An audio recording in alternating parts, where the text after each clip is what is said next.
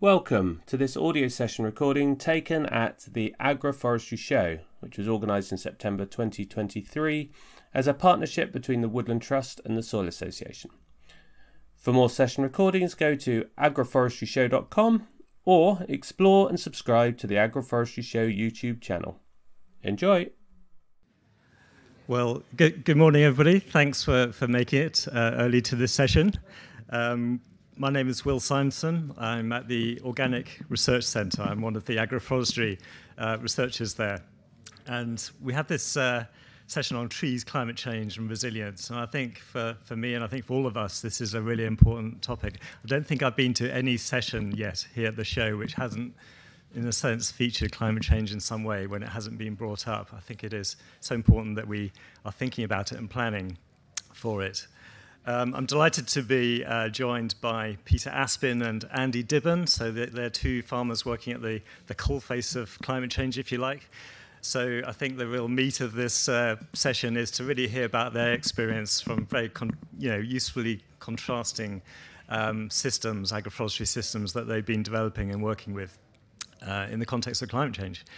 So um, so yeah, I mean, the climate change has been a big part of my research career. Um, before joining the Organic Research Centre, I was working for an environment and development charity in their climate change unit and focusing on nature-based um, approaches to adapting to climate change. And that's continued uh, to become an interest in my current role at the Organic Research Centre. I think we're all becoming quite familiar with um, maps like this one, which emphasize that climate change is not just something in the future that we worry about, it's actually very much it's with us today. This is a map showing um, in June 2018 um, the amount of rainfall that month. So there were small areas that received less than 2% of the expected rainfall. Uh, this is the 1981 to 2010 average um, some more areas that receive less than 5% of the expected rainfall. Most of England receive less than a third uh, of rainfall, according to that historic average. And then the next month, July 2018, this is a photo of a, a crop fire in, uh, near Roxby, uh, near Scunthorpe in North Lincolnshire. Um, and we are seeing uh, wildfires not just in the sort of moorlands and heathlands, um, but also increasingly in croplands. Just last year, I live in South Cambridgeshire. There were about four crop fires uh, coinciding with that you know, heat wave that we had just in my local area. So it's kind of something that we're seeing more and more. And that's something that the climate models are also predicting. So that's what this, um, these maps show, the baseline, the present day on the left-hand side, where any, any one year we can expect between 0.1 and 1% of, of the days of the year to have a very high risk of fire. Under a two degree warming scenario, uh, we're looking at about 10 to 15% of uh, days having that high risk. And uh, that's quite you know, possible that we'll be seeing that in a few decades' time. In a four degree scenario, this is one of the worst case scenarios, I guess, um, which would be possible before the end of the century, we're looking at 20 to 30% of days having a very high risk of fire. I was just reading a report the other day about how um, some Mediterranean-style fire units are being set up using um, being trained up in skills from southern Europe and US. And that just emphasizes one threat that we might not have imagined being particularly important for, for farming, for agroforestry in the future. But I found that quite, quite interesting and sobering. Um, I suppose the other thing to say about these sort of extreme events and their, impacts is that, you know, whereas at one time you couldn't really say that any one was um, definitely a result of climate change, um, increasingly we're he hearing that language change, aren't we? And there's this um, initiative called, it's called the World Weather Attribution, and it's a group of academics from Imperial College London, but also some other universities who are actually modeling and monitoring these weather events. And increasingly they're using language not just that these events are more likely under climate change, but they're almost impossible to, to have happened without climate change being a factor in them. So, um, so that's you know something that, that we are seeing, isn't it? And of course, as well as the um, extreme. So, um, just um, some more maps to show very quickly. So, as well as um, wildfire risk, there's the spring droughts that farmers have been um, experiencing as well. And again, some, a series, series of maps here um, showing, in this case, March, April, and May rainfall deficits in 2020. And large parts of the country only received about um, a third to a fifth of the expected rainfall in, in those spring months. So, um, so that's something that is, you know, really actually very um, significant for agroforestry when you're establishing new trees in the ground in the winter and then you're wanting some nice rainfall to keep them going in those early months and years. Um, yeah, but as well as the kind of extreme sort of weather events, the more erratic weather that we're seeing, of course, there's the general kind of climate uh, change trends that we're witnessing, aren't there? And there's different ways of portraying that. Th this graph just shows the average global temperature for each month, the month going around this, this circle. Um, so, and it's from 1850 to 2017. The early years are, um, are actually colored blue, um, the later years colored to orangey red as you go out from the middle of the center, that's the increasing temperature. So you see in a, in a way, this is illustrating almost like a spiraling kind of temperature increase over time. Records are being broken all the, all the time, aren't they? So this is undeniably the sort of part of the um, climate change that we're experiencing. So in response to climate change, tree planting has become quite a key policy objective that we're seeing um, contributing to the sort of net, net zero targets for the UK. So, for example, the 25-year environment plan of 2018 sees this target to increase woodland cover in England by 12% um, cover by 2060, planting 180,000 hectares by the end of 2042. There's the um, climate change uh, committee, the UK Climate Change Committee, which advises government in a 2020 um, land use policies report, they suggest that the forest cover needs to uh, needs to increase to at least 17% of the UK's land area by 2050, uh, planting 90 to 120 million trees per year by 2025. In another report by that same group late, um, that same year as well, um, they start to reference kind of farmlands. So um, they suggest that plant, plant, trees need to be planted on 10% of farmland while maintaining uh, the primary use in extending hedgerows by 20% by 2035. The uh, England Trees Action Plan um, that was um, produced.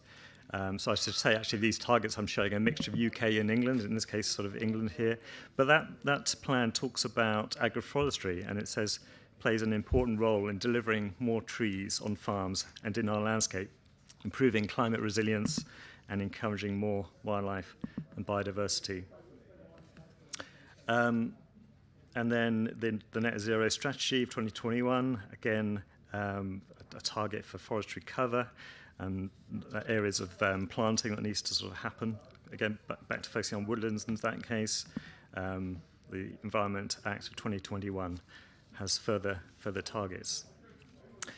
So, so yeah, climate trees in, in the sort of frame, really, as a, as a sort of response, as an answer to climate change, um, particularly for, for mitigating climate change, for lo locking up that carbon, and we've been talking about that in some of the sessions here at the show uh, these couple of days. So sometimes they refer to as nature-based solution. I'm sure people are coming across that, that sort of term more and more. Um, it's reading one sort of journal sort of uh, commentary talking about this amazing nanotechnology carbon capture solution that comes in a, a tiny dirt cheap package and uses internally stored energy to send threads questing down and up. And those upward threads um, make lots of little solar panels and, and, and on it goes. And of course, it's describing, you know, this amazing carbon capture technology is in fact a tree. And um, it just sort of emphasizes the fact that, you know, we don't have to um, kind of just turn to high tech for this, this kind of challenge that, that humanity is facing. Um, so, and of course, the trees aren't just helping to, to mitigate climate change, but helping to adapt to, to climate change as well. And I think that's really, in a sense, the focus of, of this session, one of the focuses. And so what we're going to be hearing about from, from Andy and from Peter is some of those climate change adaptation benefits that they're, they're seeing from their systems, that indeed they, they've um, you know, doing agroforestry for one of the purposes of it, one of the key things that they feel bring, bring to their systems. So that's something we're going to be exploring uh, in detail a bit later. Um, but you know, if it's as simple as planting trees for climate change mitigation and adaptation, what could possibly go wrong? Um, and I think there's a lot actually that, that could go wrong. And I think hopefully, you know, I think the practical sessions and the talks of this show are actually helping to uh, tool people up really in some of the kind of pitfalls, some of the challenges. It's not a sort of creed on farm isn't a panacea. It's not a kind of easy option. Um, and there's you know lots of challenges, particularly in a climate change context with agroforestry. So there's disease. Not that all disease is associated with climate change, but there are diseases which spread further and faster with climate change. Um, one example is the emerald ash borer beetle, uh, uh, um, which attacks the ash trees, which are already affected by ash dieback, of course. And this is a species that's not native for, to Europe, but is, is threatening to spread. And it's actually features in the National Risk Register for, for the UK now. So that's kind of one of the sort of pests and diseases that are being, uh, being watched. Um, but you know, so there's pests and diseases, there's, you know, the erratic weather is causing flooding, waterlogging, um, that's an issue. And also, of course, the droughts that we've already mentioned, the summer droughts, the spring droughts. This is a challenge to especially young systems before the trees are pro properly establishing and putting their roots down. Um, this is something that's really impacting on tree survival rates. So I think what this is saying to me, and I've, this is what I've been sort of really thinking about for quite a while, is that sure, agroforestry is a you know really important kind of approach for climate change adaptation. But in order for that to be successful, um, the design of that agroforestry has to be resilient to climate change because trees aren't, you know, they're not just inert infrastructure, a bit like a concrete flood wall or something like that. These are living organisms that are affected by warming trends, uh, drying or um, wetting trends, you know, the, the erratic weather. So agroforestry has to be resilient in itself, in its design. The trees have to be able to survive in order to be able to confer those adaptation benefits down the line for the, the whole farm system. And that's, uh, I guess, what I hope we can also explore a little bit through the experience of, of Peter and Andy and what they've seen works and doesn't work um, as we're going forward. And of course, bu building resilience, it's, um, as you might imagine, there's a whole sort of science behind that, um, not just an ecological uh, concept, but a sort of socio-economic one as well. And this is just one example. This is a, a report um, or guidance book, really, I suppose, called Applying Resilience Thinking. And it takes some of that kind of academic literature and it distills it down into seven, seven principles for how you build resilience. And I think that those are actually quite relevant to the, the farm, farm level, also to the farming communities, to, to landscapes, to indeed to, to society. But those those principles include things like maintaining diversity and redundancy, and, and one can imagine, start to imagine what that might mean uh, for a farm and for agroforestry. Uh, managing connectivity is another one. Uh, encouraging learning, so it's you know getting to that whole sort of experience of sharing knowledge, and indeed that's what this show is about. Again, is hopefully what this session is doing to a wee degree as well. Um, broadening participation in, in um, as another kind of approach to building resilience. So um, this session. Um, so I think what I want us to do in the, in the time that we got this morning is to, to think about, you know, what are the adaptation benefits of agroforestry? And then how can we build resilience into agroforestry design? And um, as I said, I think we're going to be learning a lot from Peter and Andy's experience. I'm sure there's lots of actually experience and expertise in this room, so um, I'm really hoping that we can have a, a lot of time for some discussion and Q&A towards the end. But the, what we'll be hearing um, about, first of all, is a silvo horticulture operation. So Andy Dibben is the head grower at Abbey Home Farm near Cirencester in Gloucester he's going to be talking about his his experience and um, you know he, this is somebody who's really thought through his system and, and has been fantastic at, at, kind of communicating about it. So really looking forward to sort of um, hearing him this morning. And then we're going to be hearing from Peter Aspin so talking about his uh, silvo silvo pasture project in, in Shropshire. And again um, Peter's been really ahead of the curve. He's been doing agroforestry for over over 20 years now. And doing some really quite innovative experimental things I, I hope it's fair to say, Peter. And so I think, you know, hopefully we can um, learn a lot about that. Um, and then, as I said, I'm hoping we, will have a good spell at the end for some, for some discussion. But just before that, um, I just wanted to really signpost people to what's going on a, on a research point of view, and that's kind of where I'm, the kind of uh, community I'm in, I suppose. And um, to say that um, there's yeah these collaborations across Europe funded by Horizon. Um, just heard this morning, by the way, that I think UK is rejoining the Horizon program um, after many, well, what feels like many years of waiting for that confirmation. So that's really great news. But we are indeed already participating uh, in Horizon projects. Um, so uh, there's AgroMix, which is all about mixed farming and agroforestry and their resilience benefits. Uh, there's the Re-Livestock um, project, and you can hear about that. Some of the Re-Livestock team are speaking at 11 o'clock in the Sainsbury tent on, on uh, benefits of trees for resilient livestock systems. Uh, there's Reforest, a new, well, relatively new, one year in, uh, four year project on agroforestry, focusing on the carbon, the climate change mitigation benefits, as well as biodiversity. So do find out about those projects. There's the, the stands of Coventry and um, Cranfield and Reading University. There's the Organic Research Centre stand. Do come and find us um, to hear more about that, that work that's really relevant to the topic that we are talking about uh, this morning. Um, there's also, um, I've been really interested by what Forest Research um, are doing. Um, and there's a number of resources. There's some really interesting modeling and, and research going on. Um, I nabbed um, Mike Perks, um, the principal scientist at Forest Research for Climate Change, yesterday afternoon, and just asked whether he might be able to just come up for a few minutes just to say what some some of what he's doing, what the, his team are doing, and how that could be relevant to, to agroforestry. And I think you've got a session later on, Mike, as well, which you might want to tell about. Do you want to just come up to uh, speak for, about that for a few minutes? Thanks. Uh, morning, everybody. Um, Mike Perks, Principal Scientist, Forest Research, based in Edinburgh. Um, what we're working on in terms of uh, the climate mitigation benefits of agroforestry is we're developing, improving existing uh, carbon calculations of the net benefit of trees on agricultural sites.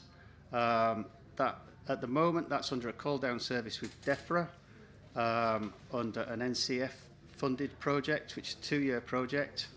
Uh, but we're also working with um, uh, uh, partners at Cranfield and Werner Earth, who are an SME, very good at spatial data integration, for a DESNZ project, which the main focus of the DESNZ project is biomass provision. Where can we put trees in the landscape? So it's not ag purely agroforestry focused, but obviously that, that gives us the opportunity to put some time and resource down to representing agroforestry much better in our tools.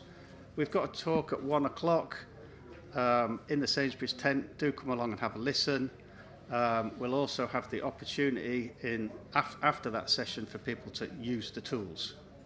Um, well, so there's a suite of tools there. There's the Forest Research Ecological Site Classification, which matches tree species to site if you know something about your soils. Um, it also is now functioning with future climate data, so we can start providing you with some security in your decision making over the rotation length. Um, Earth have got a tool which will become available. It's still in development. It's a web-based tool which you can basically put your farm in and it will help you decide where best to put trees. Um, it is built on the ecological site classification platform. The spatial tool just uh, layers all of the constraints that you might have. Um, and then Cranfield University, Paul Burgess, We'll be talking through the um, yield and economic calculators that Cranfield have produced, which help you make financial financial choices, um, and all these things are really merging as part of this DESNZ project. So we can talk to you about that at more depth at one o'clock. Thanks, Will. Oh, I should say, and Will is working with the ORC, and for this call down service for DEFRA, we're working in partnership with the Agroforestry Carbon Code to use that as a sense check to our modelling developments for, for DEFRA schemes. Thanks a lot, Mike. Um, and finally, um, this is a kind of resource I find quite interesting. I mean, it's actually for, in a sense, for urban urban context, but there's some quite interesting sort of learnings I think from that. The um, Trees and Design Action Group Tree Species Selection for Green Infrastructure report, and it has um, about 280 tree profiles within that got a tree selector tool as well. Um, and you can sort of screen trees depending on their use potential, their mature size, crown form, um, form, crown density, environmental tolerance to shading and to, to drought and to waterlogging, uh, ornamental quality as well. Obviously, you know, this is for urban situations, so quite different, but, you know, I think the thought process is, is pretty similar to some of the sort of thinking that agroforesters also need to go through.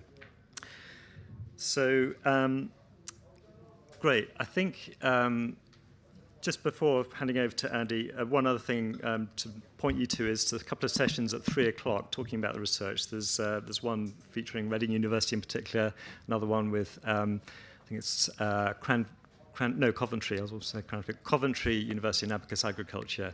Uh, kind of a co-design exercise for research prioritisation. So you might want to think about going to either one of those. But over to Andy, really, to talk about what he's been doing at Abbey Home Farm. Thanks, Andy. Hi everyone, thanks for coming and listening. Uh, my name's Andy. I'm an organic veg farmer. Uh, I luckily live just live and work just 20 minutes up the road, so it's a nice easy event for me. Um, previous to being an organic veg farmer, um, I used to be a coppice worker for about five or six years. So actually my first love professionally was trees and woodland. And then being a coppice worker doesn't uh, basically provide you with the money to raise two kids.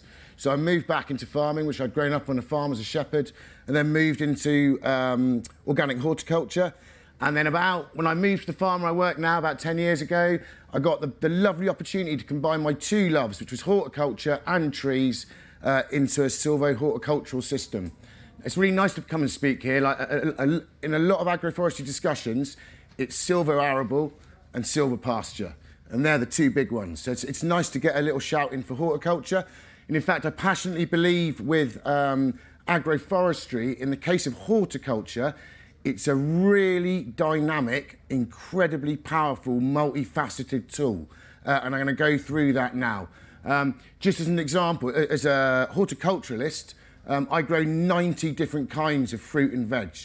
So the ways trees interact with my crops comes in a vast array of styles and situations. Um, as a brief overview, we've got an intensive market garden doing high value salad crops. I've got a thousand metres squared of glass house growing high value and, and uh, extending the season. Um, we've got a lot of polytunnels as well, and then we have a large area field scale. We started putting uh, agroforestry into our field scale. We started designing it seven years ago, started planting it six years ago, and planted over three years. Um, the system's still very young, but the design process very much took into account the subject we're going to talk about today. Um, in the last two years, we've also started introducing agroforestry into our glasshouse, so doing it inside protected cropping as well, and I'll talk a little bit about that. So climate change resilience, um, I get, whenever I do a guided tour at the farm around the agroforestry, almost straight away, one of the first questions I get asked at the end of the tour or during the tour is, have you seen an increase in your yields yet? Now, bearing in mind these trees I kind of planted as hedge whips, about that big, and they're now, I don't know, uh, six, the oldest ones will be six years old. The simple answer is they've barely got big enough to even start attempting to affect the yields. Agroforestry is a long-term thing. Anyone looking for an instant financial return on it is kidding themselves. It's a long-term investment, both for benefits to your crops, but also financially. Um, and in fact, in the last three or four years, with the intensity of the weather we're seeing, I've actually changed my tune completely now. And with all my organic sustainable techniques and with agroforestry, I don't actually, I'm not actually looking to increase my yields anymore and not to be put too much of a downer on it, but it's important as a food producer that I say this. In the last three or four years, I've now changed my attitude, and agroforestry and all my organic techniques are about clinging on to yields, good yields, commercial yields, in the face of savage weather events. You know, I, ironically, I spent the winter this winter planning for a 50 degree centigrade summer and got the exact opposite. So one of the challenges is you're not planning for one kind of weather. In England, we're not planning for one weather change. If you look at Italy, you've got parts of Italy that are 60 miles apart. Some have lost all of their crops to drought. 60 miles up the road, they've lost all of their crops to flood. So climate change resilience is a tricky thing to plan for. And I'm passionate about this subject as well. And this is why I like talking about the subject as much as possible. Every farm is unique. Agroforestry offers loads and loads of benefits, but those benefits are very site specific. So if you're going onto a site, a, a, a brand new greenfield site, and you want to put agroforestry in, what I tell people is when you walk in there, I do consultancy on it, you walk in the field and you go, right, what problems can trees solve for me in this field? And that'll be very different depending on the field. If it's a steep slope field, you're probably talking about soil erosion. If it's a coastal field, you're probably talking about wind protection. On, on, a lot of sites, it'll be all of these things, but your system design really has to take into account your own site. I don't believe in taking designs off the shelf that are used on other farms. Uh, and I passionately believe the best people to design systems are the farmers themselves who know their sites inside out and they know the requirement of their crops and their routes to market. Um, different routes to market require completely different cropping systems in horticulture, uh, different harvesting times, everything about it is de defined by route to market. My route to market is a farm shop and a cafe. Uh, all of what I grow goes out through the farm shop. We sell a tiny bit of excess off. So I'm very lucky that it's direct sales. I get good money for it, good communication with the customers. We reckon we, feel, we feed about 800 people a week with all of their veg uh, for 12 months of the year, basically. The rest of the farm does meat, dairy, arable and all of that, but I just do the fruit and veg. So as far as climate change resilience and design of the system goes, when I designed the system, we'd had a weather was starting, you know, seven or eight years ago, the weather was starting to kind of hot up or wet up, depending on what sort of year it was.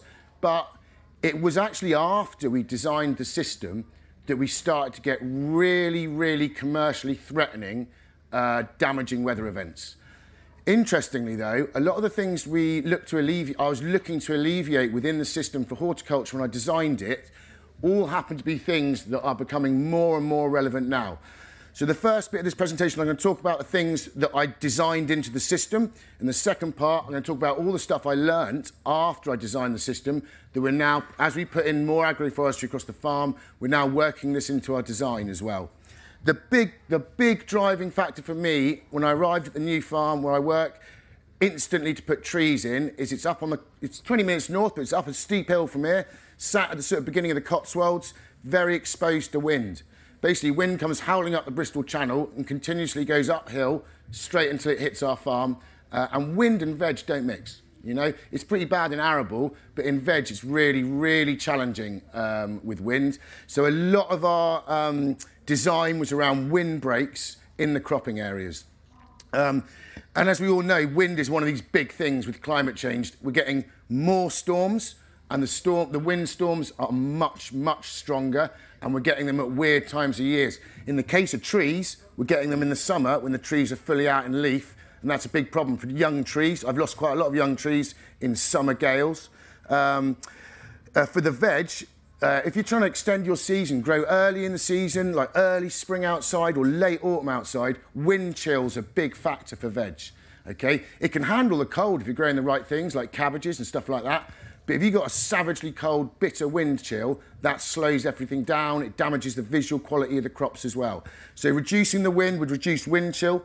Um, in the summer, in the hot weather events, it will reduce, reducing the wind will reduce evaporation. Um, it'll also reduce soil erosion. If it's a dry, dusty field and you've got a howling wind, you watch all your topsoil blowing over the hedge. So putting in wind breaks keeps the soil where we want it. It also stops that evaporation. And again, it, uh, my horticulture is all irrigated. Um, but we are constantly getting squeezed by the Environment Agency on our abstraction licence for our borehole, and that's going to get worse and worse over the, over the next 10, 20 years. So everything we can do to reduce our water usage, we're really interested in. Um, and trees are a big part of that. Um, and like I said, reducing this wind will maintain yields and visual quality. In system design terms, reducing, we want to reduce wind, not remove it. If, you, if, you, if you're designing windbreaks with trees, don't imagine you're going to try and design a solid wall of trees, because what that creates is really bad turbulence on the downwind side of the trees. It can actually cause more damage than the wind would have done in the first place. So you want wind breaks, not wind blocks. Um, tree spacing is really important for that, depending on the varieties of trees you're using, the thickness of the tree belts you're using in your system, but you still want spaces in those trees, so it's a wind break, not a wind block. Um, something I'm happy to answer questions about later is phasing. So this is something very particular to horticulture. So if your agroforestry system involves coppicing, um, when do you coppice those trees? Uh, in short, for us, we've got a five-year veg rotation in the field, and we coppice our alder and our hazel trees on a five-year cycle, and we coppice them upwind of the cropping areas when we have a green manure established in that area, which requires no windbreak. So when we remove our windbreak, that field downwind doesn't have a wind susceptible crop in it. Um, talked about turbulence. Pollination, again, if you remove the wind completely, all your wind pollinated crops start to struggle. So you need wind movement in your cropping areas. That's something we can struggle with in the glass house where we never have wind. Uh, and reducing wind reduces temperatures as well. Um, well, uh, reducing wind will does two ways. It will reduce, uh, it will raise the temperature in the winter, but also if we reduce the wind in the summer, it just keeps the cropping areas much stable. Hot, dry winds equal loads of transpiration from the crop. Again, more water usage. Um, water itself. So I always say uh, trees are nature's soakaway. You know, we, we put soakaways around our buildings, but trees do exactly the same in a natural way. Um, the really cool thing about trees is they can manage excess water and they can manage lack of water. Excess water is managed through their soakaway effect. Um, lack of water, all the fungal relationships and the organic matter dropped by the leaves from the tree, the, the leaves from the tree dropping on the floor, boost soil organic matter. You boost soil organic matter and you boost soil life, your soil is much more capable of hanging on to water. Um, and this is important in the system design. One of the early proponents of, of silvo horticulture was Wakelyns Agroforestry, they did a lot of experiments with willow biomass either side of potato crops. In the hot years, they found that willow biomass robbed loads of water off the potato crops and massively reduced the yields. So when we designed our system, we were very careful about where we put willow, which is a very, very hungry tree. It's a great tree for wildlife. It's a great tree for biomass, but it's a very thirsty tree. Great in a really wet corner of the field, that'll help you out, but not right next to a really thirsty crop. So again, Tree alley spacings, tree spacings and tree choice is very important to make sure you're not robbing. This interaction between trees and crops in horticulture is very dynamic and it changes at different times of year. So it's very important when you're designing a system to think it all the way through 12 months of the year and for me, all the way through a five-year rotation as well. Heat. So you can see today, it's lovely and hot. A couple of facts. A potato crop experiences heat stress over 15 degrees centigrade. Uh, tomato crop inside experiences heat stress over 30 degrees. Last year, my potato crop got up to 39 degrees centigrade, and my glass house went up to, I think the, the, the record temperature last year was 49 degrees. So these key crops for me are not happy with the heat. Now, um, the best way of reducing heat in cropping areas is shade, basically. But I need shade in the right place at the right time. As a horticulturalist, photosynthesis is my most important system that I'm working with. In the winter, light is a really valuable currency, especially when you get to midwinter's day. We've got short day length, low sun height. We need to do everything to maximize light, light, maximize light getting on the crop. Uh, vice versa, in the height of the summer, we want to maximise shade. So in the glasshouse, we've just started planting fan-trained peaches up between all our rotation bays. Um, the key thing there is they're a deciduous tree. So in the summer, when it's really, really hot, they cast dappled shade in the glasshouse. That drops the temperature in the glasshouse. In the winter, when we do a lot of cropping in the glasshouse, we want maximum light penetration to the crop. There's no leaves on those trees. So they're not robbing any of the light from the crop. So it's, it's a, a dynamic tool. We didn't plan that into outside because I hadn't experienced really extreme heat yet. It is something we will be planning into future systems, especially in the intensive market garden, where leafy crops don't really like really, really intense summer sunshine. Um, and again, system tree choice is really important. Like I said, for for heat, the, the, the kind of tree you're, you're, planting, the amount of shade it casts, again, the spacing. I want some light getting into my crops. The orientation of your tree rows is really, really important in horticulture. Generally, we go for a north-south aspect so that we get every, every crop gets sunshine through the day. Minimum half a day of sunshine, basically. First thing we did when we designed the system was clear all the veg out the field, put the field down to a two-year green manure and re reorientate the whole field north-south. Um, and like I said, we're just designing, designing a system in the market garden that's going to be very much based around shade, basically. Uh, perennials. Last year, when it got up to 40 degrees on the farm, I was walking around, absolutely killing myself, dragging irrigation pipes around for three months, uh, desperately watching by the milliliter that we weren't going over our abstraction limit, but wanting to go way over it. While I was doing all this, really, really working hard to grow annual vegetables, Meanwhile, the apple trees in my perennial, in my uh, agroforestry system, gave us the most incredible yield without me barely doing a thing to them all year. So in horticulture, we're getting increasingly interested in perennials, obviously trees, but I'm also interested in perennial veg crops. They're far more resilient to extreme weather events. They'll bounce back from flooding much quicker and they'll deal with heat for much longer. Even if they have a bad year and they get knocked back, they'll come back in the winter. You know, trees, once you get them established, are very, very resilient. On that point, the key system design thing with perennials is if you're planting a perennial and it's going to be in there, no perennials are perennial. They all, in veg, they all die eventually. They say asparagus is perennial. I've never got any, any asparagus bed beyond 11 years, ever. Um, so it, uh, commercial perennials, the key bit, if it's going to be in for 10 years in an organic system, you've got to establish it well. There's got to be really good weed control before you do it and the early years of doing it. And water is really, really important. So the one thing I'd say about establishing trees that we've learnt in agroforestry systems is don't leave it until March. It's too late now. Will was talking about spring droughts. If you start planting in March and we get a spring drought, you'll lose 80% of your trees unless you can water them. We're lucky that our system design matched the tree spacing with our irrigation boom setup. So whenever we irrigate tree, whenever we irrigate our veg crops in the field, we have taps on the end of the irrigation boom that will water the tree lines at the same time. And that efficient system design thing is really, really important. You don't want to create a whole nother workload that is trees. You want to integrate it into your existing system so it doesn't take up loads more of your time. Reducing inputs. So if we're going to have to, I mean, yesterday Russia and Saudi agreed not to export much more oil this year. That's going to keep carbon, um, fossil fuel prices really, really high.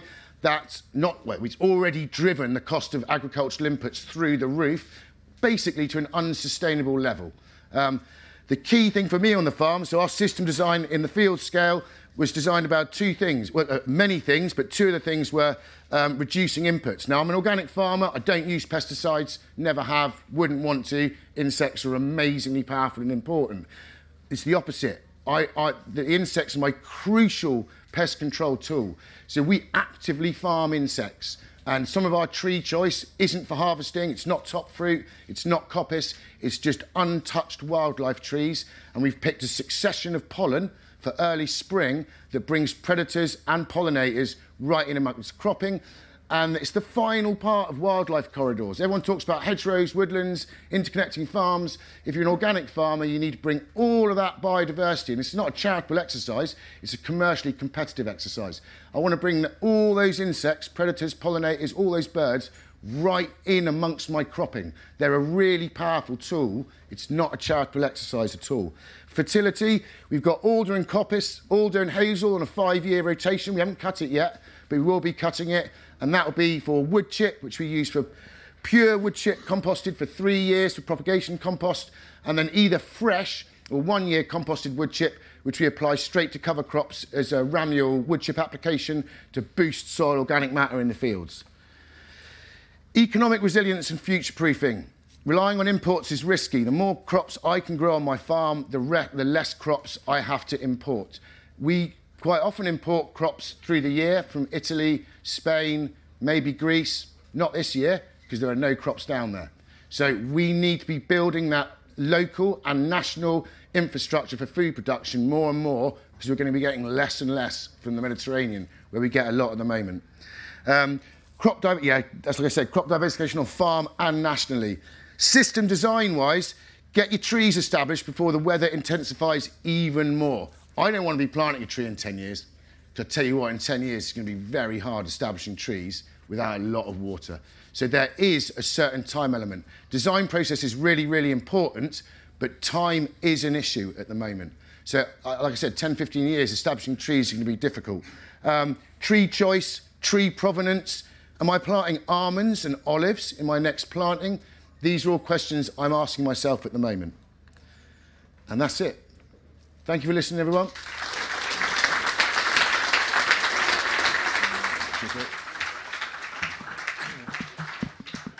Thanks very much, Andy. That was that was fascinating. Um, so I think we, I mean, I'm sure you've got lots of kind of questions that you'd like to follow up on on that, but let's let's move on straight to Peter now, and then we're going to, as I said, have a time for questions and for discussion towards the end. So, um, Peter, thank you. Yeah, quite a few of Andy's experiences, Al, uh, uh, similar to mine, but uh, obviously using uh, using animals, using livestock. Um, yeah, uh, let's start off. Um, I've the basis of what we're doing here. Uh, I, uh, I've always been appalled how, how uh, farmers in, in this country keep animals in on, on field systems in, in, in summertime. Uh, well, and spring and autumn. When the weather's good, clement or whatever, obviously it's not a problem. But when it's uh, absolutely throwing it down, or days like today, uh, you just need to ask, look in the back of a, a Knackerman's lorry and see how many corpses there are.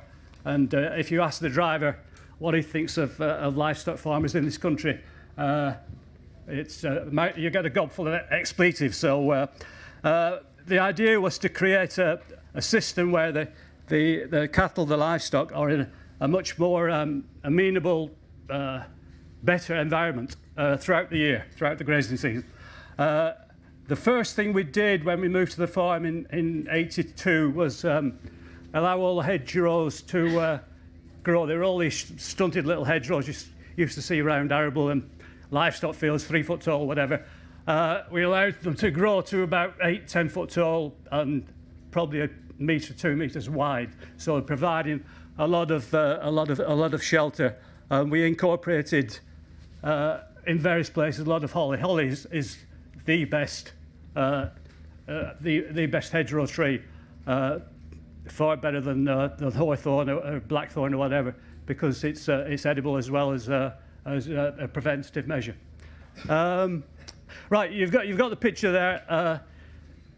I, we're just contract rearing dairy heifers now, and we only have them from about April till November, December. And um, so you can see the picture there. The trees are... Right, these are all um, uh, very pregnant heifers. Uh, in fact, uh, two days ago, five five left to, uh, about to calve, and another five that have just been uh, PD positive uh, came back to the farm. Um, so you can see the trees there. The alleys are 20 metres wide. It's a very small farm, 20 acres. Well, it was 20 acres when I uh, started the work 20 odd years ago, but it, we bought a bit more land after that. But the actual, actual agroforestry is only on 20 acres. So uh, uh, you can see how the trees there have developed. We never actually no, not never. We very rarely plant two trees of the spe same species next to each other. So this, the row you can see there on the picture there, it's all alternate walnuts and ash. Uh, we're sampling about 40 varieties of, uh, of walnuts at present. Um, and they're all growing pretty well. They're all growing very well. Uh, right. Right, that's it without the cattle, obviously. Uh, you've got the herbage crop beneath. It's um, a of clover, rye grasses, uh, all sorts of things. Loads of yarrow at present flowering.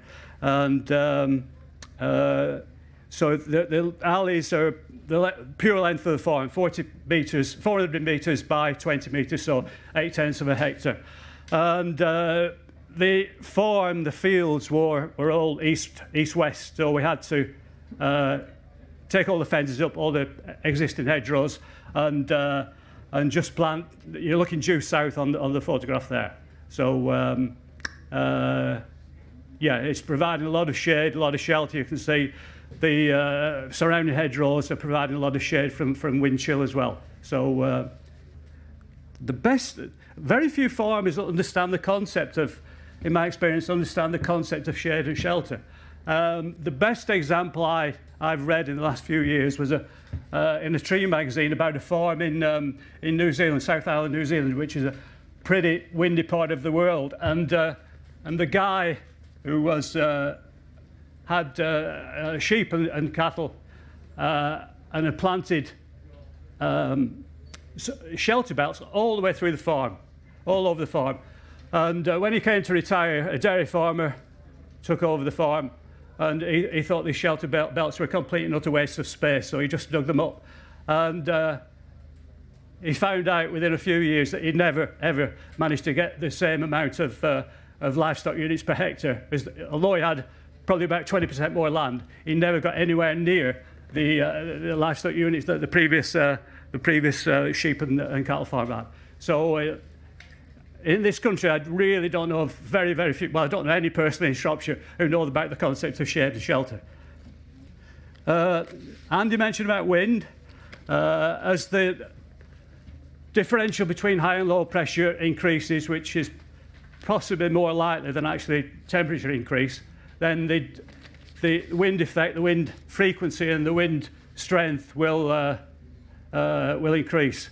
And uh, of, all the, uh, of all the trees we can grow in Britain, there's only one that's really completely wind resistant, and, and that's the Araucaria. So um, uh, traditionally, it's uh, used for ship's mast, tremendous timber, and uh, it's probably the most in, important nut tree we can grow in Britain uh, because it's uh, most nuts, hazelnuts, walnuts and chestnuts, stuff like that are about 30% oil, 30% fat, whereas uh, the Araucarias are only about 5%. So from a health point of view, it's probably the, the healthiest nut we can eat.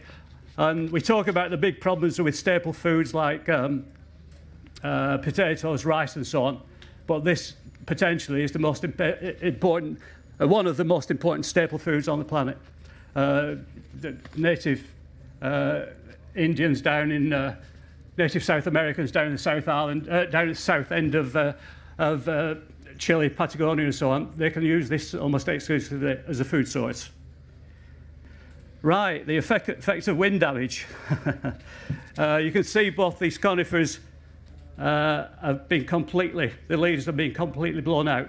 We're, uh, the farm is right at the top end, north end of Shropshire. So we, most people think of Shropshire, Wenlock Edge, the Long Mynd, Stiperstones and so on. But we're actually geologically in the, uh, uh, on the Cheshire Plain. Very flat apart from a few resistant outliers.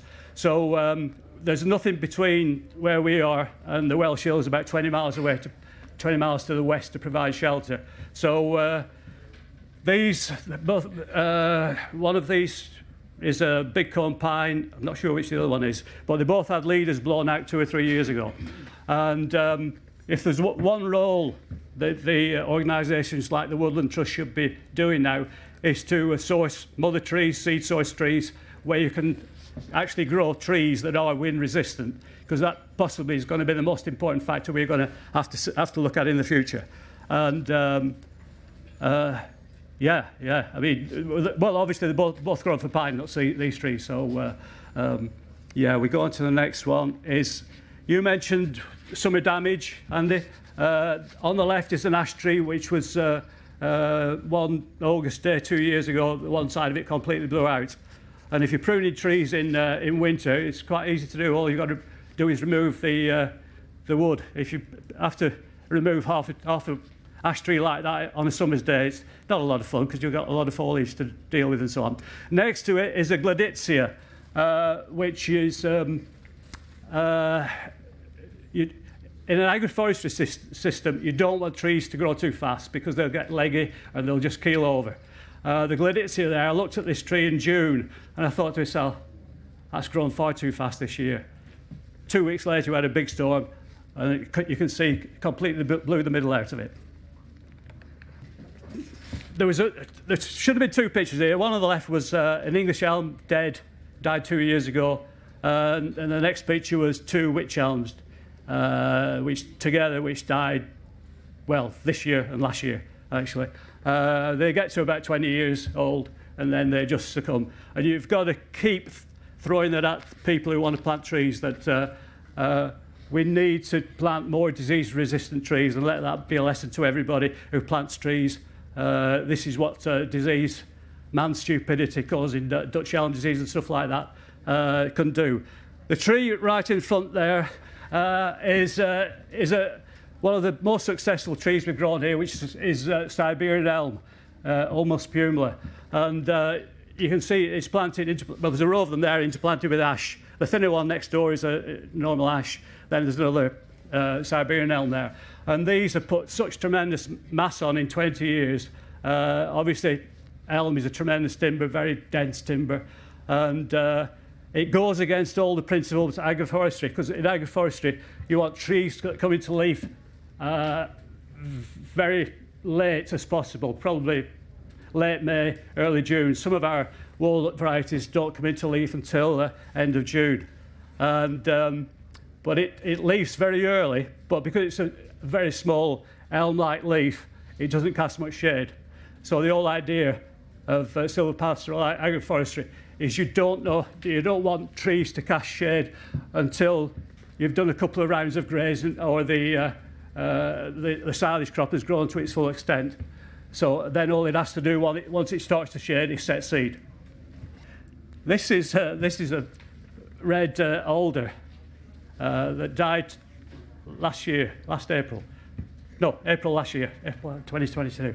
Um, important timber tree, absolutely dead straight, wonderful form. We just had a frosty night one day in April, just as leaf, leaf uh, emergence was occurring, completely killed it. It wasn't a very cold night. I think it was about, only about minus four, minus five. And, uh, but it, it was just the critical time when it, uh, when it was coming to leaf and it just completely defoliated and uh, it's just, just crumbled. crumbled. So uh, unfortunately, it was only a sample of one. It was the only red alder I, I, I planted. So I, I can't match it against any others. But exactly a year before, in the April uh, 2021, we had two uh, Ailanthus uh, tree, trees of heaven, Ailanthus altissima. Uh, very good timber tree, very good uh, firewood tree, very good uh, charcoal tree. And uh, there were two 10 metres apart. One got hit by frost. And the, the one 10 metres away from it is absolutely perfect. So again, we're going back to seed source. You know, we need to, uh, when I, I started this 20 odd years ago, I just got seed from wherever I could. But we've really got to start looking at seed provenance and so on planting these trees. Right, um, this is an interesting picture. Uh, oh, hopefully some of them, some of the others have been interesting as well. Uh, second from the second from the left is uh, is a Paulownia, uh, which is probably the most important um, uh, agroforestry tree in, in, in the forest, China, uh, Vietnam, places like that. It's probably relevant for Andy's farm. I don't know if you've got any Paulownias. You have yeah, done. very interested in them. Yeah, because the, uh, the, the Chinese now are uh, experimenting with, with all sorts of hybrids, uh, high yielding hybrids, and um, I managed to get some seed of, of a couple of hybrids this year uh, because the, uh, the leaf drop uh, creates a, a tremendous amount of fertility into the soil.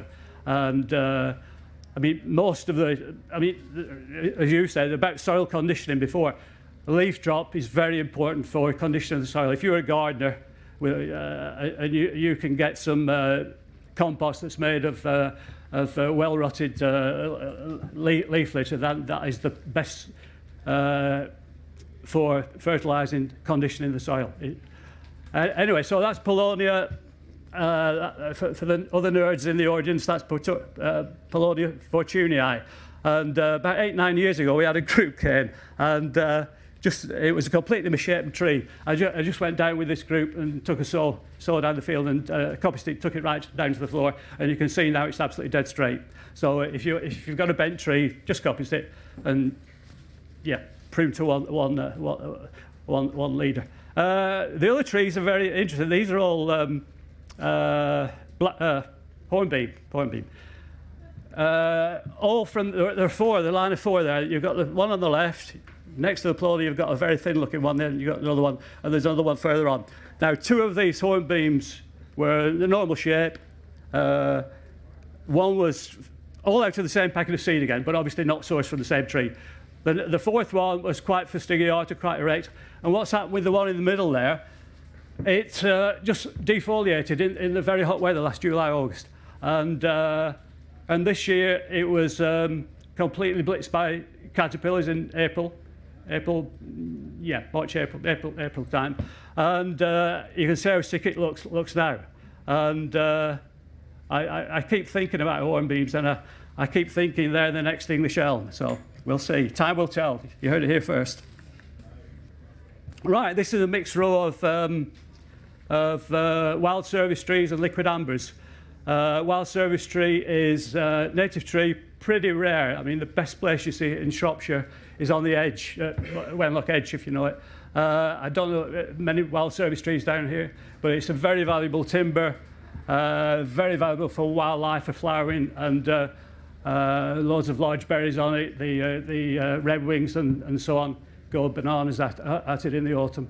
Um, and interplanted there, incidentally, some of the uh, wild service trees, because it was such a dry, uh, dry May this year, some of the uh, wild service trees were dropping leaves in uh, at the end of May, which is quite remarkable. Never seen it before.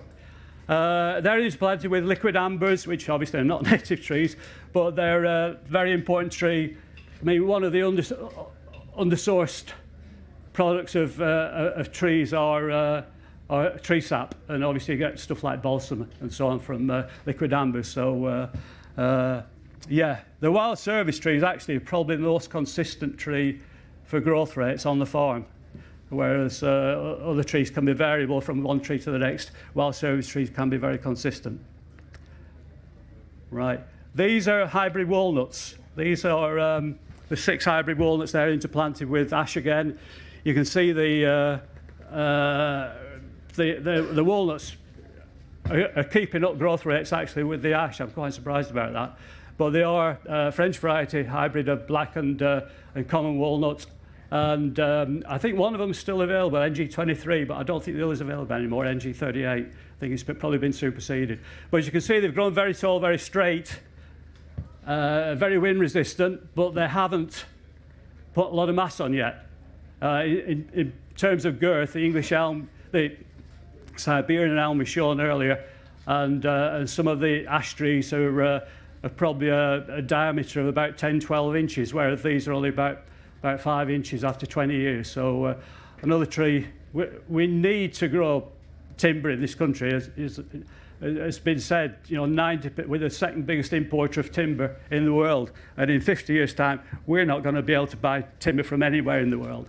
Uh, if we want to buy timber, we're going to have to borrow the money to buy the timber. So uh, we are going to really going to have to start changing the whole way we, we farm, uh, the whole way we farm. Uh, with using trees for the, the interplanting and so on. Right, uh, have we any left? Right, uh, again, uh, Will asked me to just take some pictures of some of the trees we're, we're sampling again. Uh, on the left, outside left and outside right, sound like a football team. Uh, you've got um, hazels. In the middle, there's a Turkish hazel. Uh, between that and the uh, next to the Turk Turkish hazel, typical pyramidal form used as a street tree. The last five, ten years, all over the, all over the country, it's been used as a street tree.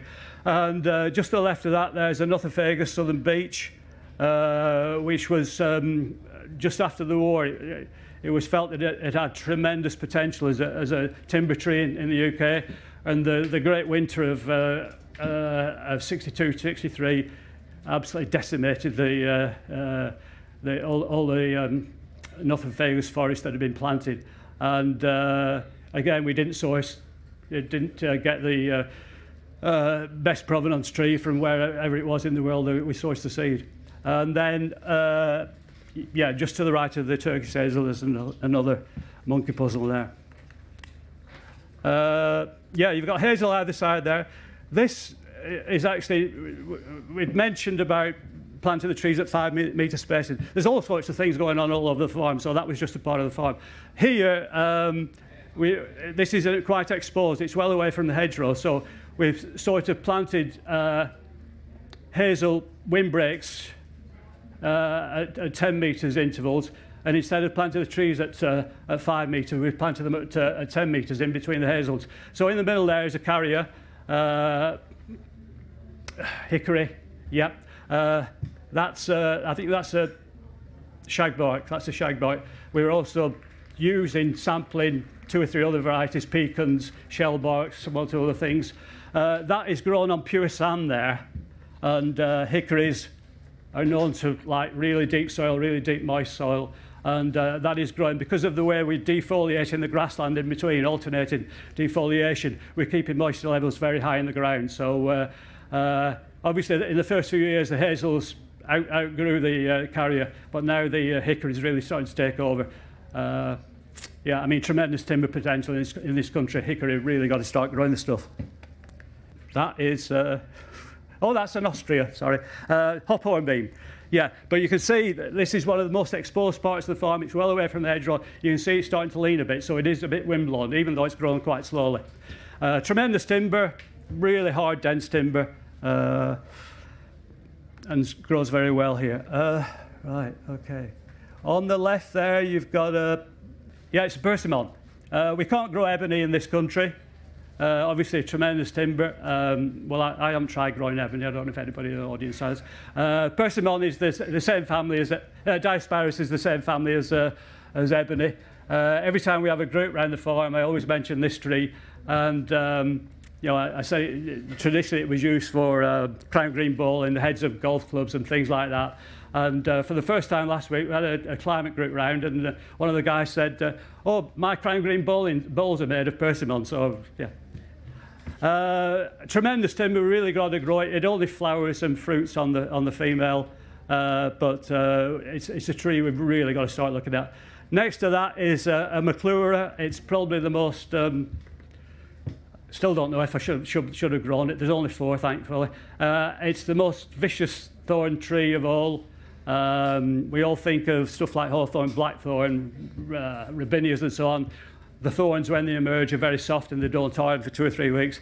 This thing, the, uh, the horns are virtually like needles when they come out. When they, when they come out. So it's, uh, uh, I grow it because it used to be the apples, the fruit on it. Uh, it's Osage orange, so uh, pomifera, so it's about the shape of an apple and so on. Uh, it used to be used as a, as a, as a food for livestock in, uh, in North America. Uh, if you look just in the next row behind, to the right, there's uh, another Maclura there, but you can see now that's leaning against the wind, against the prevailing wind. So, uh, you know, which do you collect seed from? The one that's upright or one that's leaning? Okay. The other thing about about uh, the silvo pastoral, well, about Eddie agroforestry is we're completely changing the way we drain the ground. These, the, the rows of trees become uh, longitudinal field drains uh, because there's no, no compaction on there. And uh, best example I had was about 15 years ago, so it was only a few years after we started the work. We had a, a mains burst on the, uh, uh, on the road uh, alongside the farm.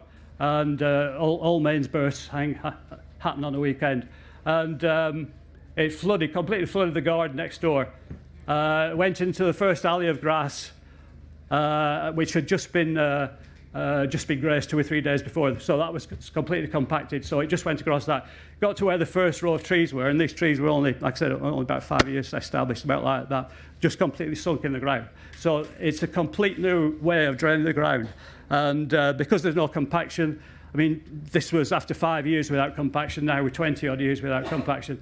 So you, you guys have probably heard uh, stories about how many insects there were, you know, 40, 50 years ago or whatever in the atmosphere. And um, when I first started to drive in the 60s or 70s, on a day like today, within oh, five, ten minutes, you'd have to put the windscreen wipers on because you couldn't see through the wind, windscreen for dead insects, butterflies, every, everything out there. We drove down from North Shropshire yesterday and uh, there were about five or ten tiny specks on the windscreen. There's absolutely nothing out there. And uh, what, what, what is the reason? I mean, some people have said it's the, it's the change from uh, silage to uh, from haymaking to silage because the, the grass doesn't seed anymore, so there's nowhere for the insects and so on to, to lay their eggs. Uh, the next philosophy idea is that uh, we grow these diabolical uh, Armageddon crops called, called maize and uh, oilseed rape. The third one is the atmosphere is completely saturated with transmission signals. I don't have a mobile for obvious reasons. And the fourth, fourth reason is we overdrained the land post-war. There was industrial drainage of, of farmland everywhere. And uh, the government was absolutely throwing vast amounts of subsidies to drain, drain the land, which was completely and utterly stupid. And uh, with a system like this, you see, you're completely changing the way land is drained. These, I mean, there's been a lot on TV and about flooding recently, obviously. And the only way you'll ever stop flooding, you won't stop it with conventional civil engineering, engineering with, with steel and concrete. The only way you'll do it is increase the ability of the earth to absorb moisture, which is what we're doing in this sort of situation. The other thing, in the rows of grass there, the, the cattle can graze right the way under. Uh, apart from a foot or two foot, something like that. So the grass is there, or whatever flowers, we use a lot of flowers and so on, uh, they set seed. So you've got little insect strips right the way the length of the farm. Um, right, well, I'm, yeah, yeah, it works out. Oh, you can see there, Cat Stanley on the left, on the demonstration, the extreme left there, that's uh, our Cat Stanley, named after the most football, famous football team in the world, obviously, Stanley Accrington. Um, You'll remember this for Stanley Accrington, uh, apart from anything else. Right, um, this is the edge of the micro wood. Uh, next to it is the forest garden. And um, uh, we've, I mean, I, I came from urban planning 50 odd years ago. That's what I studied. And it, it still fascinates me. And uh, we, we, as, as well as completely changing the way of the English landscape. I mean, the problem with the English landscape is that now we've still got a landscape that's dictated to by the Middle Ages by sheep farming, wool farming. And if we're going to start doing anything about climate, we've got to completely change the way the English farm landscape is. Anyway, this is the, uh, uh, uh, I said, the forest garden next door. This is the small woodland, micro wood, and uh, we need to fill our towns and cities up with these micro woods and forest gardens, any bit of space, they should be filled, like, filled up with things like this. I have a great difficulty when I have a group around the farm and they get in the forest garden, they get in the micro wood. I'm gagging for a drink or something to eat, and they won't come out, so uh, my, my problem. All right, okay. That, that's all, folks. Thank you. Okay.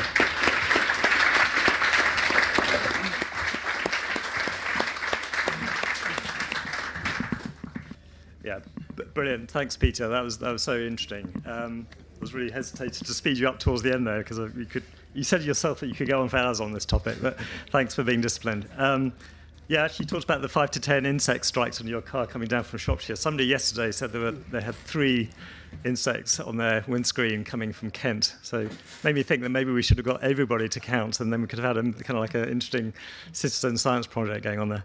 Um, but um, Brilliant. Bugs matter. Look out for the app on your phone. Thanks. Thanks for that.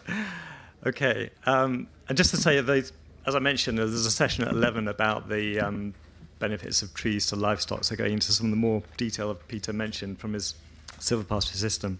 But let's have a, a time of um, discussion and questions and answers now. And um, if, I, if you don't mind me steering this a little bit, because um, of our climate change focus, I suggest that we try and keep our questions to sort of uh, questions to Andy and Peter about the adaptation benefits, about the, the resilience of their, their, their agroforestry, um, but also, you know, to share your experience of dealing with, with weather events, with climate change, how you're, how you're dealing with that, how you're thinking about it in terms of the future planning for agroforestry. That kind of, if you'd like to share your experience, that'd be brilliant as well. So there's a couple of roving mics that Jerry and Will, I think, have got coming, coming or somebody's got coming around. So, um, yeah, just put your hand up, please. Thank you. Uh, hi, uh, question for Peter. Uh, looks like you've got quite a range of different tree species, so looking at resilience through diversification. Uh, looks like you're alternating between a species and ash, using an ash as kind of a, a nurse. Are you suffering from dieback, and what are your plans to, to replace ash in the future? Yeah, missed, missed, missed the slide about dying trees. The people who visit are absolutely amazed how little ash dieback damage there is. Uh, we had, a, um, I think Rothamsted, who planted a lot of ash about the same time as us, found out that the ash trees near uh, near uh, streams and more moisture intensive places were all right, and uh, uh, the ones in drier areas succumbed to ash dieback, and uh, it's um, there's two or three trees got it reasonably bad, but they're all pulling through. And I, again, I think it's the way we're defoliating and refoliating the grassland in between. So we're not losing the, the ground moisture, if you see what I mean. So we're retaining as much moisture as we can. And uh, obviously these trees aren't, aren't in isolation, so they're in rows, so they're all sheltering each other from the heat of the sun. You know, midday is, is the biggest problem. So, um, yeah, I, I mean, it's been interesting this last week or two about some of the ash. Uh, there's been a lot of defoliation on the ash before this hot weather started. In fact, a couple of trees have, apart from uh, a few of the very young leaves right at the top, they've completely defoliated. So what's going on, the more you know about trees, the less you know about trees, sort of thing. So, uh, yeah, I mean, I, I just bought, uh, bought ash trees from um, uh, a, a local forest nursery and planted them in, and um, they seem to have been, interestingly, one or two that have had it were in the very early days, first two or three years, they were established were, were stripped by caterpillars. So whether there's a connection, I don't know. I'm, I'm not a scientist, but it's interesting. And we do sample various other. We've got a couple of North American varieties of ash and so on. So it's not all. Uh, uh, it's not all all fra fractionless excelsior. So yeah. Hiya, this is probably a question for um, both of you, just to get thoughts on. Um, so, for replanting or planting a new woodland, um, mainly kind of more of a woodland rather than necessarily the agroforestry, um, you hear a lot about just focusing on like British native trees and the fact that we need to, you know, they're the best for the insects and things like that. But just to get your thoughts, because it sounds like you have a lot of yeah non-British ones, and how you're finding for in terms of for climates and the future um, for plant trees here. Yeah, I mean, I've always uh, I studied for a year, studied British ecology and conservation, and when I learned now what the definition of a native tree was, it's incredibly arbitrary. They've just picked a date in history. As a veg farmer, what I see with uh, um, natural uh, animals uh, is constant migration. You know, I have new pests turn up on my veg farm all the time and they migrate from the continent and they come across as the climate warms up. I think, um, and interestingly, I do a lot of um, presentations on what's called integrated pest management and controlling pests in horticulture. Um, a, a big part of that is I talk about all, you know, everyone introduces loads of predatory insects into their cropping areas. They buy them off big companies. All the predators you need are in the hedge just there. Yeah. So I'm a bit conflicted about the subject, if I'm honest, because on the one hand, I know the stuff I want to protect my crops already exists in the hedgerow there in all the native species. So 50% of me is like, right, I want to use native species because that'll attract the insects just over there in the hedge out into the middle of the field and do that same job here. At the same time, um, uh, non-native, when you, if you walk around a botanic garden in England, non-native plants and non-native trees are covered in UK insects. So I think uh, yeah, like I said, I'm conflicted. I, I don't really believe in the term native, I suppose, you know. And I believe plants, animals, people have always moved around planet Earth and will always move around planet Earth. And you have to work within that system. Oh, do you want me? Uh, right, okay. Um, I'm not conflicted at all. Uh, I mean, the, the reason, um, uh, how should I say this? Um, I haven't got a lot of time for the Woodland Trust, to be quite honest. I think the thing, I could go into, I could spend an hour or two talking about that, but I won't do. Um, I, we need to look at trees completely differently. I mean, I mean, what we've lost in the last, you know, the, the problems with uh, with oak trees, with ash trees, with uh, elm trees, with uh, horse chestnut trees. Well, they're not native anyway.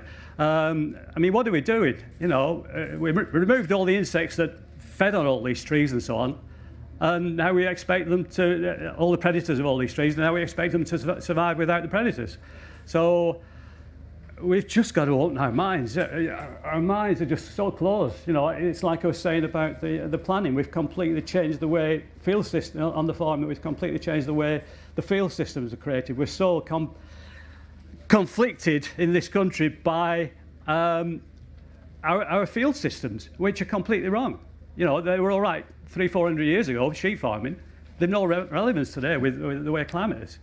We've got to, I mean, it, it's almost, I, I, sometimes call it a, a concept of total farming in, in, in deference to Johan Cruyff, who was a great footballer, because you're, you're, um, you're bringing trees, you're bringing forestry and agriculture together. You're not dividing them, which is the whole point of, uh, of uh, agroforestry. We've got to stop that groupthink. It's wrong.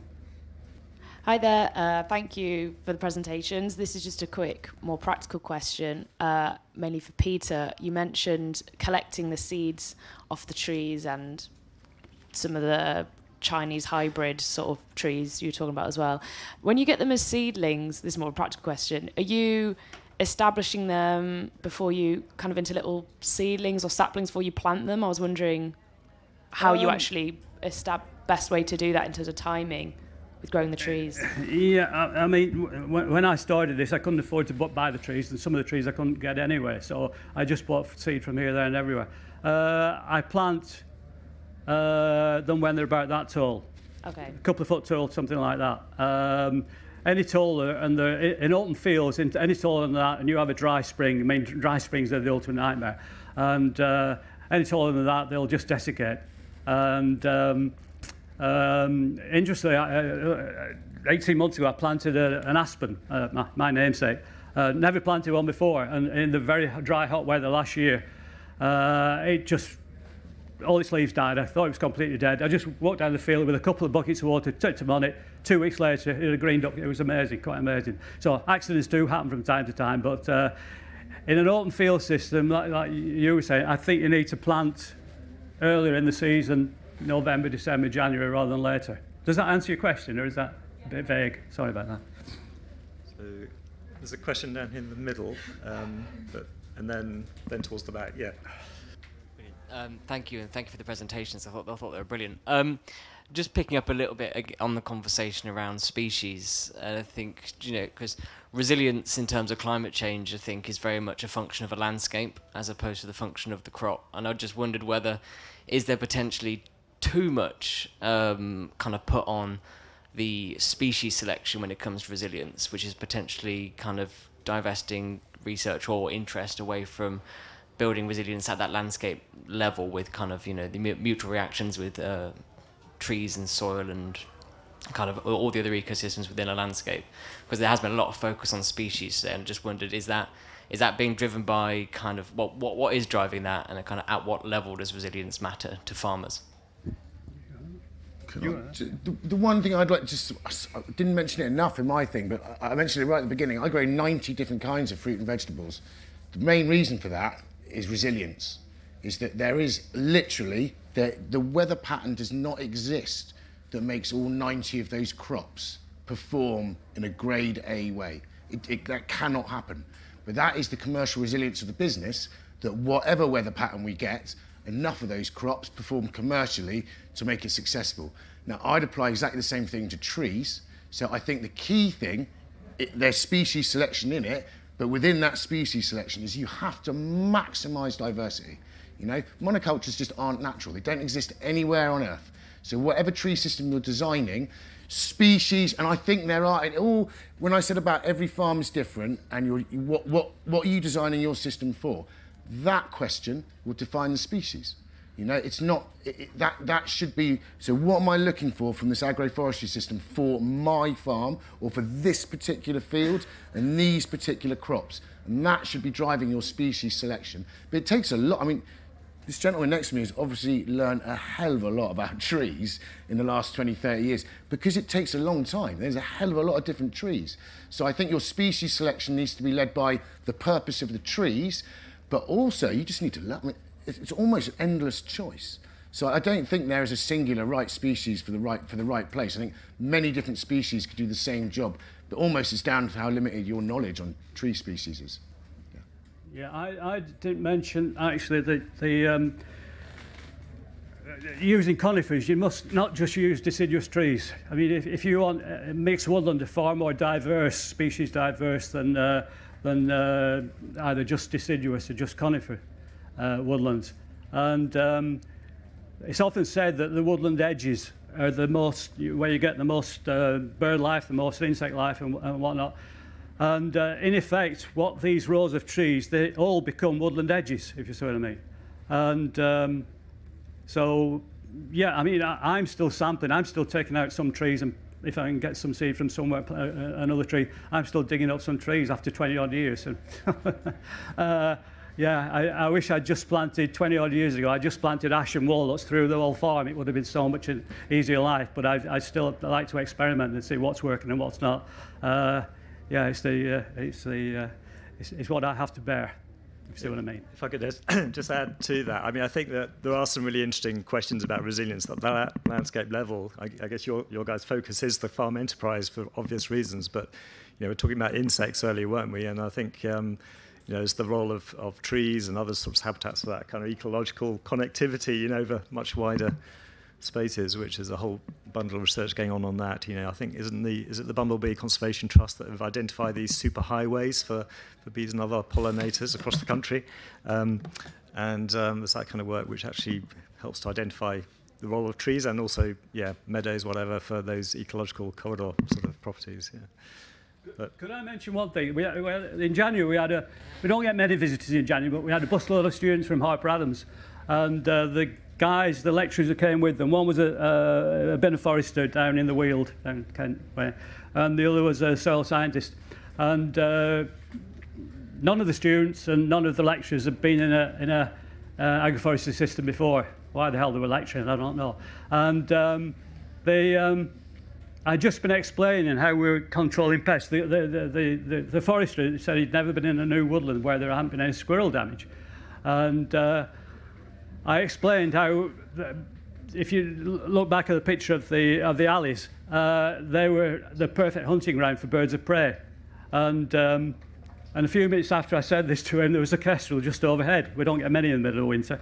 And uh, then another 10 minutes later, there was a squirrel, but it was uh, being very careful. It was just walking up the uh, uh, up the hedgerow, being very in and out, in and out. It wouldn't cross the killing field. What I call the alleys, the killing fields, because uh, they, we all know about grey squirrels in, in parks and so on, where the, the, uh, the, you know, the grass is mown to a half an inch. But if you see uh, squirrels in, uh, uh, in, in long grass or even four or five inch grass, they move like otters, they move like that and that, so they're very vulnerable to predation. We haven't had any, uh, in the forest gardens on the second year running, we haven't had any uh, predation of, uh, of walnuts or hazelnuts. We had some friends, friends around a couple of weeks ago. Just uh, we just spent the evening picking hazelnuts because there was no predation whatsoever. So um, there's an answer to everything if you if you keep looking for it. And this seems to be an answer to having alleys. Uh, it seems to be the answer, an answer to, uh, I won't say the answer, an answer to grey squirrel predation. Yeah, just a quick question about thinning of the trees. Is there a sort of trigger that you're looking for in your grass growth or your veg that would then make you think, right, it's time to start thinking about thinning some of these trees? And when you have thinned, what do you actually do with the, the timber that you've produced? Uh, oh, oh you go. Uh, uh, I've lived at the farm 40 odd years, and um, for moral reasons, I've never used oil and gas to heat the house. No, we just use, uh, we all know what we've got to mess in with oil and gas now. So I'll just use off-peak electricity and timber. And last year, uh, I spent three or four months up a ladder every fine day pruning the, um, well, I did the walnut trees. You've got to prune walnut trees in, in late autumn and uh, all the ash trees because uh, the problem with tractors these days, they're so tall. We've got to reinvent the tractor, make much shorter tractors to get under the uh, branches. So uh, I spend a lot of time pruning trees. My knees and, and ankles were pretty much gone. It took a week or two to recover. Great fun. You see a lot, uh, you see a lot in the sky when you top, top a tree on a ladder. Go on, Andy. so, when we design with veg, the, the shading aspects, which might be a benefit in some situations, that's something you've got to manage very, very carefully with veg. You know, it's not, it's different to a silvo pasture system. The trees we've picked so we did in the field, there are 100 apple trees. They're all on 106 rootstock. And that's for two reasons. We don't want full standard apple trees because they'll cast too much shade, basically. And also, 106 keeps the picking from the ground. So it speeds up the picking way, way quicker. It's not on a dwarf rooting stock or a semi-dwarfing stock. It's sort of semi-vigorous. Uh, it's an organic system. It's what I'd call low input. So there's no sprays. There's no fertility management on the trees. We rely on inherent fertility within the whole field where we use a lot of cover crops. Um, so that's the apples. So that, they, they never get too big really, they never need thinning. I prune them from a commercial perspective. I'm actually getting to the point where I think actually maybe I'm not even going to bother pruning. I kind of think a tree knows how to grow itself, and sometimes we get too over involved with it. I'm also actually looking at growing apple trees not on rootstocks. I think they become a lot more disease resistant on their own genuine rootstock than they do when you cut it and glue it to something else. Um, and then coppice tree, so alder and hazel, they will only ever get to five. The, whole plan is a five-year rotation. They'll probably get to about five metres high. Um, that was planned. Five metres high will give me 50 metres of wind protection, and there's 50 metres between my widest tree rows. Um, and then the only ones in there that I'm keeping an eye on height-wise, but we knew they were going to get tall, but that's why we didn't put very many in there, is the wild cherries. The other ones we put in for wildlife are spindle, and elder. Neither of those get, for me, in veg terms, get dangerously high and cast too much shade. At the ends of some of the rows, we've chucked in a few oaks and things because there's such amazing um, features in the landscape for biodiversity. But again, they're the, the southern, the northern ends of rows where they're not going to cast shade onto the crops. So yeah, thinning, we kind of pre-planned not to do any, basically. The most important tree I find for bi biodiversity is alder buckthorn. Uh, it flowers for four or five months of the year, and we've got one in the uh, in, the, in the microwood there. And uh, it can be it can be raining, and the, the insects and the bees and so on are working the flowers. So if you plant one tree in your garden this winter, plant an alder buckthorn. Makes the finest charcoal as well. I think we've got time for one more question. Uh, Uh, thank you for the talk. It was really, really great. Um, I wanted to, it maybe it's too specific, and if it is, we can take it afterwards. But um, you were talking a lot about wind and how that affects uh, the growth of the trees. It, have you tried to uh, like have, create a gradient from the from the alleys? The, the, the, the so it's quite a, quite a harsh and quite a distinct difference between the, the high trees and then the grass. Is have you experimented with creating a gradient there? to protect some of the trees you mentioned didn't put on the girth that you expected. Is that something that, that you've experimented with? To uh... well, I think in time they will put the girth on. I mean, you know, it, it was the uh, hybrid walnuts. I think I, I said hadn't put much girth on, they, but they put the height on, and they've been very wind resistant. Uh, they're about 30 foot tall now after 20 years, so they've grown pretty well. Uh, in time, they'll put girth on. Um, you know, and then you've got to put them in rotation. I mean, every tree on the farm probably even conifers. People don't realise a lot of conifers can be uh, can be coppiced. So if you if you take them down, if you're on a 40, 50, 60 year rotation, those trees I planted could well be there in another 500,000 years. You know, if they're managed properly. It's a case of managing trees, and people, not a lot of people know how to manage trees properly. I'm still learning. Great. Okay. Um, I think, unfortunately, we've run out of time, but can I just ask Andy and Peter, just for a one sentence piece of advice for people embarking on agroforestry in a climate change context? Just one piece of advice, apart from planting buckthorn alder. uh, don't experiment too much. If you're going to experiment with tree species, just do it on a small part of your farm. Otherwise, just be, like I said, if I just planted ash, walnuts, uh, araucarias on my farm, my life, my last 20 years would have been a lot easier. Keep it simple. Keep it simple. I'd, I'd, encourage people to, farmers to knowledge up and design their own systems. Don't pick something off a shelf someone else has done. Uh, every farm's unique.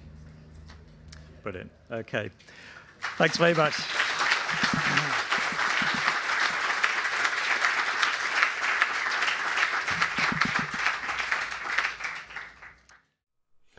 Thank you for listening. We'd like to thank our lead sponsor, Sainsbury's, and our other major sponsors, Farmers Weekly Transition, Forestry Commission, and Tilhill, and all the attendees for making this show such an overwhelming success. To get advice and support for your agroforestry project, either visit woodlandtrust.org.uk forward slash plant or soilassociation.org forward slash agroforestry.